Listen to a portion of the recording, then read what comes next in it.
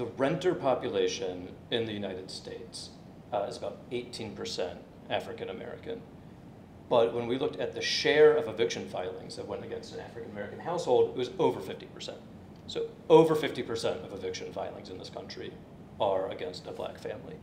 And of course, this intersected with their findings on childcare as well, uh, where the eviction filing rate against children is around 10%, so like one in 10 children in this country uh, receive an eviction filing each year.